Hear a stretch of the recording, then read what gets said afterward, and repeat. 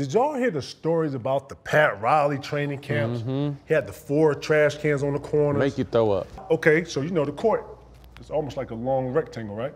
And he would put trash cans on the corners, so while you're turning, you stop. blah, quick, keep it moving. Going, blah, keep going, and then your corner. blah. Damn. But the running was so tough that he was making guys throw up on themselves. I went to a mini, not even training camp.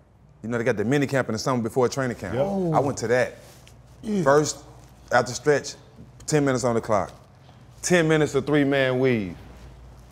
That's I don't want to play here. I don't want to. I don't. I do not want to play here. I, That's what I'm saying. Man. That's what I'm saying. Nah. Those training camps used to test your love and your commitment towards the league. Yeah, I didn't love the game as much as I thought.